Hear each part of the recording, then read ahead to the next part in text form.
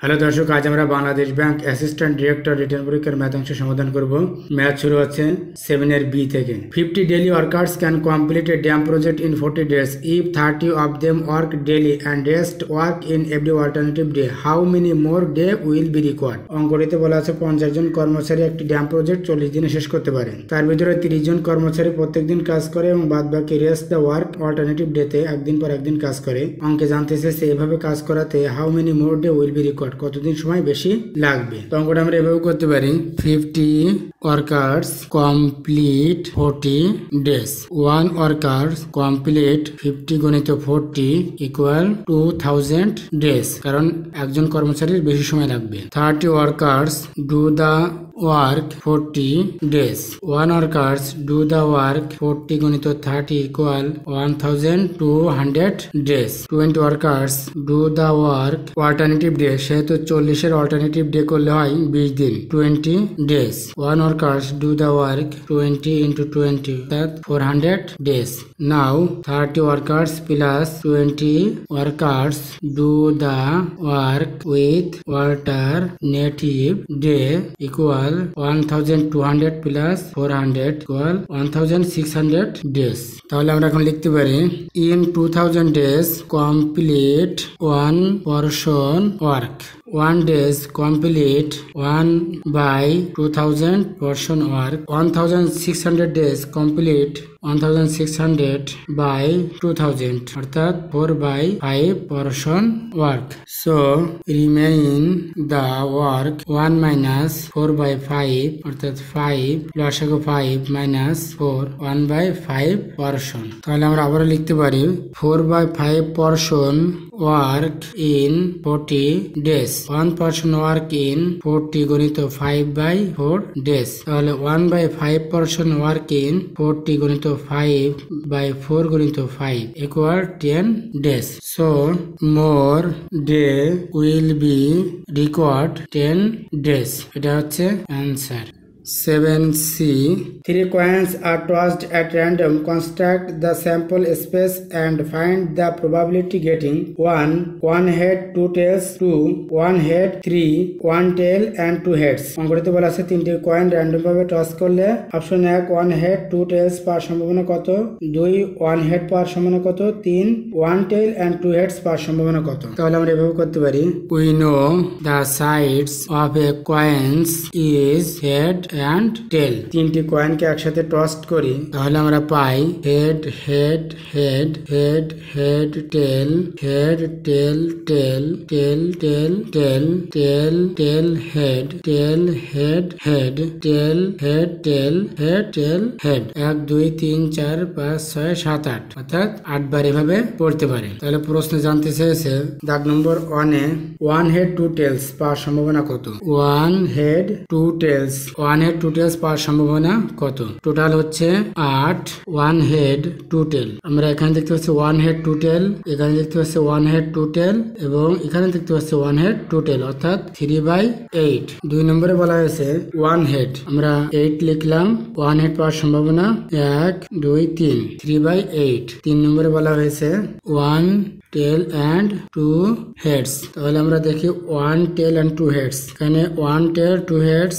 এখানে one tail two heads এখানে one tail two heads তাহলে থ্রি বাই এইট তাহলে আমরা option one two and three সবগুলোতেই দেখছি উত্তর হচ্ছে থ্রি বাই এইট দাগ নম্বর এইট এর A a senior citizen invest টাকা fifty lakh in a fixed deposit scheme at eleven point five annual interest for six month. In every six month he withdraws টাকা two lakh from his principal plus interest earn what will be his principal amount to invest after two years? অঙ্কটিতে বলা আছে, একজন senior citizen পঞ্চাশ লাখ টাকা eleven point five annual interest for six মান্থের জন্য invest করে এবং সেখান থেকে দু লাখ টাকা প্রতি ছয় মাসে সে উঠায় ইন্টারেস্ট সহ। তাহলে দু বছর পরে তার ইনভেস্ট করার মতো কত টাকা থাকবে? তাহলে আমরা অঙ্কটা এভাবে করতে পারি। ফিফটি লাখ টাকা invest in fixed deposit eleven point five percent annual interest for six month সেখান থেকে কি করতেছে? দু লাখ টাকা two lakh withdraws plus interest তাহলে এভাবে সে দুই বছর করে, তাহলে দু বছরে সে টাকা তোলে চারবার তাহলে টু লাখ গণিত ফোর, এইট লাখ। তাহলে এখন তার ইনভেস্ট করার মতো টাকা থাকবে পঞ্চাশ লাখ থেকে যদি আমরা এইট লাখ বিয়োগ করি, তাহলে থাকে আছে ফোরটি টু লাখ টাকা। এটা হচ্ছে অ্যান্সার এইটের B a square is inscribed inside a circle what is the area of the square if the radius of the circle is ten centimetre আমরা প্রথমে একটা বৃত্ত আঁকলাম। এই বৃত্তের ভিতরে একটা বর্গক্ষেত্র আঁকানো হয়েছে এবং যে বর্গের ক্ষেত্রের রেডিয়াস অর্থাৎ ব্যাসার্ধ আর ইকুয়াল দেওয়া আছে টেন সেন্টিমিটার তাহলে ব্যাস হচ্ছে টু আর ইকুয়াল টু গণিত টেন অর্থাৎ হচ্ছে টোয়েন্টি সেন্টিমিটার অঙ্কে এই বর্গক্ষেত্রের ক্ষেত্রফল জানতে চেয়েছে। তাহলে আমরা যদি দৈর্ঘ্যপ্রস্থ এ ধরি, তাহলে এ দৈর্ঘ্যপ্রস্থ বিশিষ্ট বর্গের কর্ণ হচ্ছে রুট টু এ। আর এখানে রুট টু এ হচ্ছে টোয়েন্টি সেন্টিমিটার। তাহলে আমরা লিখতে পারি a equal to by root two বর্গ করি। অর্থাৎ বর্গের ক্ষেত্রফল হচ্ছে এ গণিত এ, অর্থাৎ এ স্কোয়ার। তাহলে এটাকে যদি আমরা স্কোয়ার করি, তাহলে এ স্কোয়ার ইকুয়াল আমরা লিখতে পারি ফোর হান্ড্রেড বাই টু অর্থাৎ a square equal to hundred এইটা C three numbers x y and z are in arithmetic progression and their sum is 30 also, the sum of their square is 308 find the number let x x minus a y x z x plus a. According to the question x minus a plus x plus x plus a equal 30 x minus a plus x plus x plus a equal 30 3x plus 30 x equal 10 again x minus a whole square plus x square plus x plus a whole square equal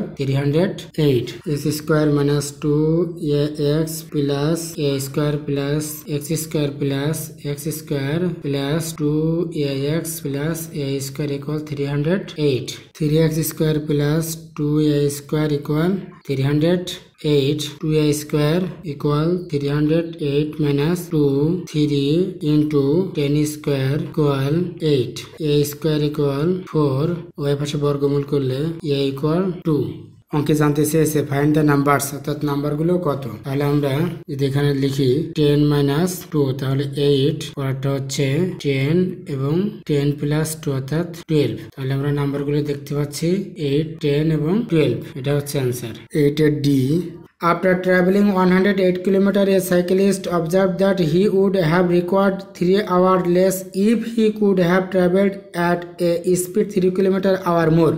At what speed did he travel?